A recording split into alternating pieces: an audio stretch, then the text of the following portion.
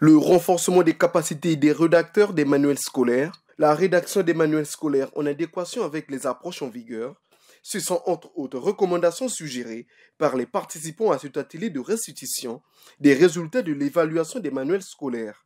Augustin Nombo revient sur l'importance de cette rencontre. Les discussions ont mis en lumière l'importance de contenus pédagogiques solides qui stimulent l'apprentissage et encouragent les élèves à développer des compétences techniques et analytiques. La dimension didactique. Il a été crucial d'évaluer comment les manuels facilitent l'enseignement et l'apprentissage des matières en offrant des approches didactiques innovantes et efficaces. Et enfin, les recommandations. Les recommandations sont le fruit d'un travail rigoureux et d'une réflexion collective. Elles seront précieuses pour orienter nos actions futures en matière d'amélioration continue de la qualité de nos manuels scolaires. Je tiens à souligner que les discussions ont été riches et fructueuses, révélant ainsi l'engagement et la passion de chacun d'entre vous pour l'amélioration de nos systèmes éducatifs. Les résultats de cette évaluation et les recommandations formulées constitueront des bases solides pour nos réformes à venir. Une initiative saluée par la représentante du représentant de l'UNESCO pour l'Afrique de l'Ouest qui espère la concrétisation des recommandations visées. L'activité que nous menons avec la Confémen, en étroite collaboration avec les pays, a permis le renforcement des capacités des évaluateurs et l'élaboration d'une méthodologie harmonisée d'évaluation de la qualité des manuels.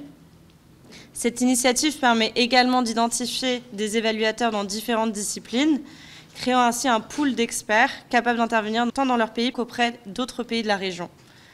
Comme mentionné lors de la présentation du projet hier, j'invite euh, les experts évaluateurs et autres euh, experts présents aujourd'hui à s'inscrire sur la plateforme d'expertise développée dans le cadre du projet ressources éducatives et qui est accessible en ligne. Je tiens à remercier au nom de l'UNESCO Monsieur le ministre de l'Enseignement préscolaire, primaire, secondaire et de l'alphabétisation de la République du Congo, pour son soutien dans le processus d'évaluation de la qualité des manuels scolaires destinés aux élèves et établissements du primaire et du secondaire premier cycle. Des échanges fructueux, mais tous doivent s'impliquer pour une amélioration considérable de la qualité de l'éducation en Afrique. Grâce à une grille d'évaluation commune, nous avons pu dresser un portrait précis de la qualité des manuels scolaires de mathématiques, de français et de sciences dans ces différents pays. Les résultats obtenus nous permettront d'identifier les forces et faiblesses de nos manuels scolaires et de travailler ensemble pour en améliorer la qualité. Je suis particulièrement heureux de constater que cet atelier a permis d'adopter une feuille de route des recommandations indiquant les modalités de mise en œuvre.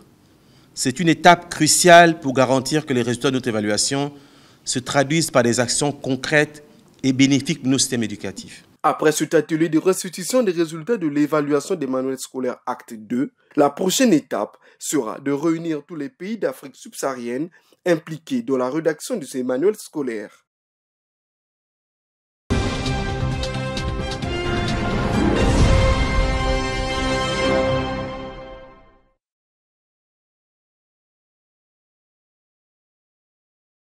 Après quelques jours, ce sont les résultats du baccalauréat général qui accaparent les conversations dans cette école. Avec 94% de taux de réussite, personnel administratif, enseignants et candidats du complexe scolaire du lycée Saint-Alfonso se disent satisfaits des résultats. Pourtant, les responsables du complexe ne tarient d'imagination. Ils tracent déjà les contours des stratégies en vue de relever le niveau des deux candidats recalés. L'examen, c'est écrit aussi un enfant peut être brillant toute l'année, mais à l'examen, il peut être confronté à beaucoup de difficultés. il y a le stress euh, qui se passe très souvent à l'examen. Mais je crois que pour l'année prochaine, nous allons nous efforcer à renforcer un peu l'encadrement, euh, à renforcer les, évaluations, euh, pour que nous essayions un peu de tester le niveau réel de nos enfants et corriger le tir. Nous devrons donc doubler d'efforts pour que que ces enfants essaient un peu de remonter la pente euh, l'année prochaine. Après cette performance, les candidats se veulent reconnaissants à l'égard de leurs enseignants, mais aussi de leurs parents. J'ai vraiment apprécié mon parcours scolaire au lycée Saint-Alfonso parce que c'est une école qui m'a beaucoup apporté sur le plan intellectuel.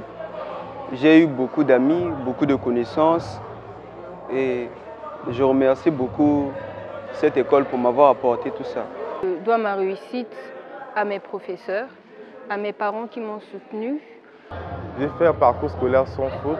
Je dédie, ma réussite à mes parents et euh, au proviseur qui m'a toujours soutenu depuis le début de l'entrée dans cette école.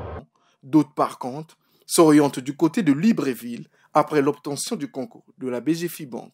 Je me sens plutôt bien. Je suis rassuré de ce qui va venir après.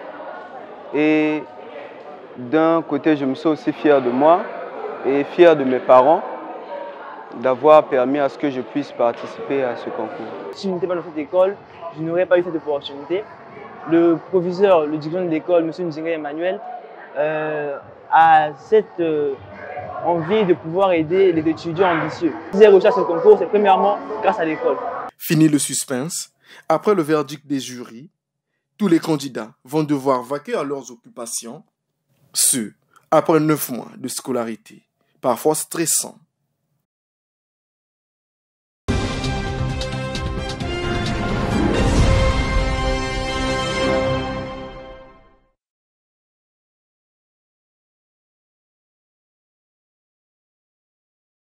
Sur plus de 88 000 candidats dans la course, 43 375 ont décroché le baccalauréat général, soit un pourcentage de 45,68%, des résultats légèrement en hausse par rapport à l'année précédente. Satisfait des résultats, le président des jurys a félicité les efforts fournis des équipes pédagogiques dans le déroulement de cet examen d'État. L'équipe pédagogique a travaillé dans un esprit serein de collaboration très franche. Et c'est ce qui a donné même les résultats que nous venons de proclamer ce soir. Avec une légère augmentation de 1,17%, les candidats déclarés admis lorgnent déjà les études supérieures.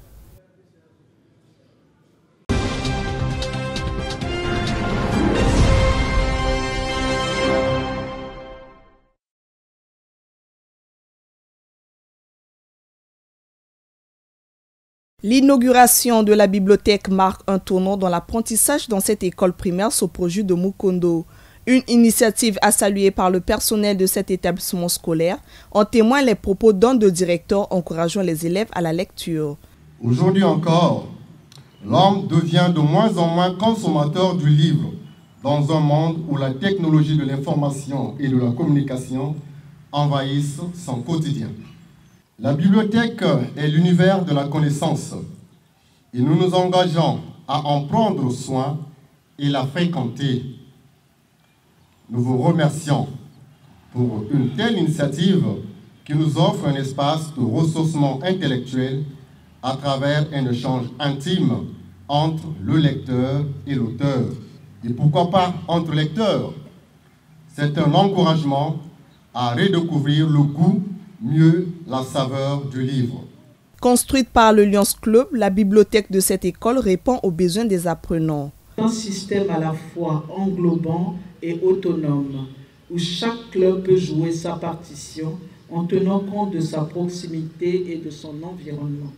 C'est ainsi que le club Malakite a fait le choix d'offrir la communauté scolaire de Mukodo la bibliothèque que voici. L'idée est partie de l'observation d'un manque de loisirs sains pour les jeunes de ce quartier. Aujourd'hui, notre rêve est devenu réalité. Grâce à notre vision qui se décline à travers notre devise générosité, amour, créativité. Les élèves visiblement émus ont presque de feuilleter et de s'installer confortablement pour lire. Et pour le directeur départemental de l'enseignement préscolaire, primaire, secondaire et de l'alphabétisation, la bibliothèque constitue un de remparts du savoir. Les difficultés que nous avons dans notre système éducatif, c'est que les enfants ne sont plus au contact du livre. Et donc le ce Club qui a fait don à la direction départementale euh, de Brazzaville je pense qu'on ne peut que l'en remercier. Et ça annonce les prochaines offres dans les autres séquences scolaires et puis euh, ça nous permettra de faire avancer aussi bien notre système éducatif. Euh, l'inspecteur chef de la séquenciation de Mongali 2, à laquelle euh, appartient cette école, a reçu des instructions fermes de la direction départementale ainsi que le directeur de façon que ce bijou soit bien entretenu. Pour le personnel de cette école, le Lions Club vient de donner aux apprenants le meilleur instrument de la promotion de la connaissance.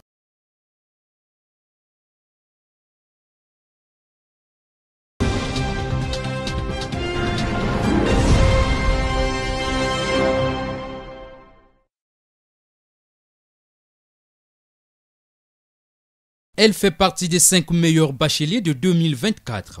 Avec une moyenne de 16, elle est la première de Brazzaville et quatrième au niveau national. Ces résultats révèlent le travail acharné fourni tout au long de l'année scolaire. Le travail surtout, la, lecture, beaucoup s'appliquer, surtout dans les matières qu'on a, a l'habitude de travailler. Quoi. Quand déjà vous maîtrisez les mathématiques, le reste des matières deviennent aussi faciles.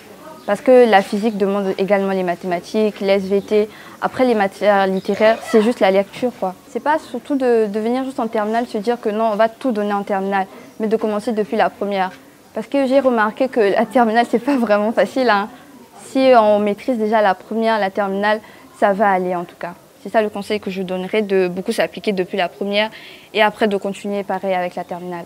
Un travail loué par ses professeurs et parents. C'est un moment de joie euh, lorsqu'on a un fruit comme ça, qui, est à la une de l'actualité, on ne peut que se réjouir. Vraiment, c'est pour moi personnellement une honneur et l'honneur de l'école et de la famille aussi. Je remercie d'abord l'école, Emmanuel. avec la discipline qu'il y a là-bas, l'enfant a pu suivre les orientations. Et nous-mêmes, au niveau de la maison, on vu aussi cette discipline. C'est un moment de joie en ce moment. Après l'obtention du baccalauréat, le regard de Rebecca Olive Mboalantou est tourné vers les études supérieures.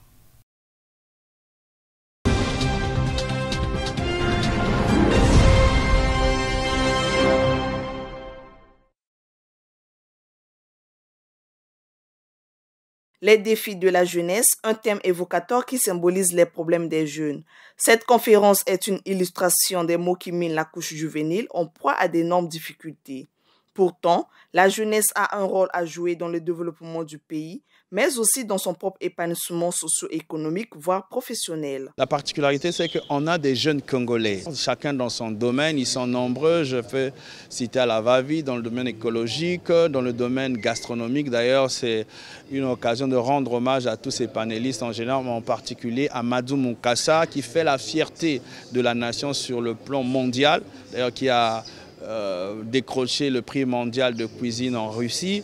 Et donc nous avons également d'autres jeunes dans les nouvelles technologies, également dans les dames dans le coaching. Et donc cette particularité, c'était rassembler la jeunesse pour leur dire, bien évidemment, il est temps naturellement de se donner. Pourquoi on doit seulement parler des jeunes chinois, américains, russes Pourquoi pas congolais Qu'avons-nous à la place du cerveau? Dieu nous avait donné quoi? Et c'est possible, nous voulons faire rêver cette jeunesse. Martin Luther King euh, qui disait, je cite, un homme devra faire son travail si parfaitement que les vivants, les morts et ceux à naître puissent faire mieux. Tous ont apprécié la nature des échanges dans un contexte où les jeunes sont appelés à créer la différence dans la compréhension des problèmes de la société.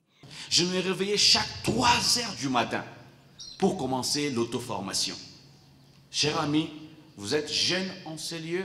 C'est vrai, vous avez peut-être vous fréquenté l'université, peut-être vous êtes déjà, vous avez déjà fini. Mais j'aimerais vous dire une chose. Au-delà de ce que l'université vous donne, en vous, il y a la capacité euh, de, l'auto-formation que vous pouvez développer pour devenir encore plus meilleur que des personnes qui suivent que les formations à l'université.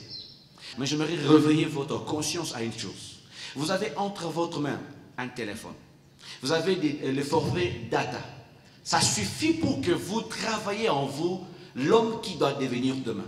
Donc en faisant plusieurs voyages, j'ai eu beaucoup d'expérience en termes de travail Et tout le temps que j'ai le temps, j'essaie de partager mon savoir, partager mon expérience avec les autres. J'ai pas eu besoin d'un dictionnaire pour connaître la signification du mot pauvreté, mais j'ai vécu la pauvreté. Et quand quelqu'un me dit qu'il a faim, je sais ce qu'il ressent. Donc c'est pour vous dire que euh, on peut quitter de zéro et puis devenir quelqu'un. Mais le slam et le rap font aussi du génie créateur de la jeunesse. Des jeunes qui doivent avoir des ambitions nobles. J'aimerais vraiment féliciter les organisateurs et je pense que ce genre euh, d'activités, nous devons vraiment les multiplier, surtout ici au Congo. Nous croyons vraiment que la jeunesse en a besoin parce que euh, la jeunesse n'échoue pas parce qu'il n'y a pas de compétences, mais je crois que c'est parce qu'il n'y a pas de modèle. Et ce genre euh, de temps nous permet d'avoir des modèles qui nous parlent d'eux et de ce qu'ils ont pu avoir et cela motive certaines personnes. Alors mes impressions sont bonnes et j'aimerais vraiment que ce genre d'activité se refasse encore. Je voudrais dire, même s'il y a ceux qui ont des moyens pour élargir ou nous aider à élargir ce genre de temps, vraiment ils seront les bienvenus pour que cela puisse donner des modèles à la jeunesse pour que nous puissions aller de l'avant. La plateforme entend poursuivre la sensibilisation des jeunes. Pour le comité de suivi conforme, les jeunes constituent un atout essentiel pour la société.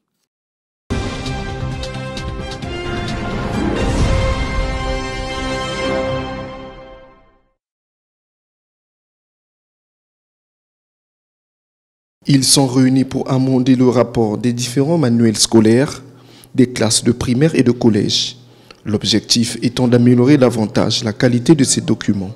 Ces manuels faciliteront la compréhension des cours chez l'élève, mais aussi et surtout la manière de l'enseignant de dispenser les cours. Si le Congo se positionne déjà bien dans l'élaboration des manuels scolaires par rapport à d'autres pays, il faille noter que beaucoup reste encore à faire quant aux objectifs fixés. Durant ces derniers mois, nos équipes ont mené une évaluation rigoureuse des manuels scolaires de français et de mathématiques pour le primaire, ainsi que ceux de mathématiques et de sciences pour le secondaire.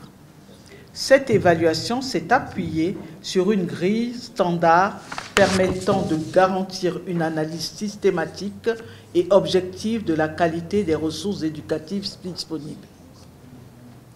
Le rapport dont nous faisons la restitution aujourd'hui représente une synthèse des observations, des conclusions et des recommandations formulées. Il met en lumière les forces des manuels actuels, mais aussi les axes d'amélioration nécessaires pour aligner nos ressources pédagogiques sur les meilleures pratiques éducatives au plan international. Que les manuels scolaires jouent un rôle fondamental dans le processus d'apprentissage. Ils ne sont pas seulement des outils pédagogiques, mais aussi des vecteurs culturels et des sources d'inspiration pour nos jeunes. Il est donc crucial que ces manuels répondent aux plus hauts standards de qualité et soient adaptés aux besoins de nos apprenants. Sur ce, je déclare ouvert l'atelier de restitution du rapport sur l'évaluation des manuels scolaires du primaire en français et en mathématiques et du secondaire en mathématiques et en sciences. Les experts, eux, reviennent sur l'utilité des manuels scolaires dans le continent africain. Aussi, ils ont bon espoir que les séminaristes feront des contributions efficientes, susceptibles de perfectionner les ressources éducatives. L'idée aujourd'hui euh, de, de cette activité, c'est de re-questionner nos manuels scolaires au niveau de nos pays. Parce qu'on s'est rendu compte que le manuel scolaire est l'intrant le plus utilisé au niveau du contexte africain. l'idée également, c'est de les réinterroger pour apprécier de leur qualité dans une perspective aujourd'hui de revoir quelles sont les dimensions qui devraient être prises en compte pour que la qualité que nous souhaitons tant que nous puissions l'avoir. Le but, ce n'est pas simplement d'évaluer les manuels scolaires, mais le but, c'est qu'on on, aide à la décision des ministres. Il faut que le ministre ait les informations qui vont l'aider à prendre une décision en vue de l'amélioration de la qualité des manuels scolaires. Ouvert ce 16 juillet, cet atelier de restitution nationale des résultats de l'évaluation des manuels scolaires prendra fin demain.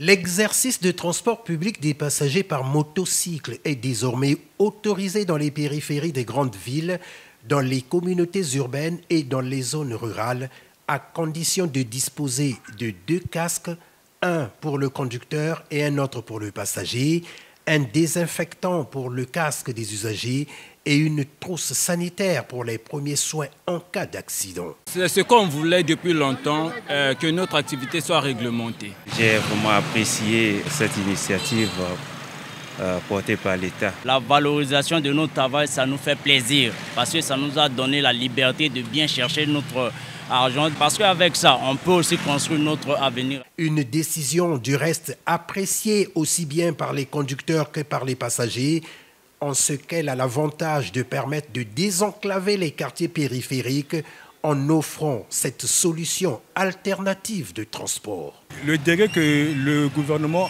a pris envers euh, nos frères qui conduisent les taxis moto, moi je dirais que c'est une bonne décision. Pourquoi? Parce que ce sont des pères de famille. Ces jeunes nourrissent euh, leur famille euh, avec le petit moyen qu'ils ont, les gars. Donc vraiment pour moi, je dis que non, mais c'est une bonne initiative. C'est bien. Le gouvernement a bien fait d'avoir accepté cela. On nous a aussi exigé d'avoir les pièces telles que les deux casques ainsi que la carte grise de la moto. Quand l'État a fait ça, c'est pour que les populations puissent avoir une bonne condition de vie. Tout motocycle doit être immatriculé, assuré et soumis à un contrôle. Ce décret du Premier ministre réglementant cette activité de transport stipule par ailleurs que tout conducteur de motocycle doit avoir 18 ans révolus, être détenteur d'un permis de conduire de la catégorie A, d'un certificat de capacité pour le transport public passager, d'un certificat médical et d'un gilet numéroté. Les gilets, c'est normal pour avoir les numéros comme les routiers. L'exercice de la profession de conducteur de motocycle dans le transport public des passagers est spécifiquement réservé aux personnes de nationalité congolaise sans distinction de genre.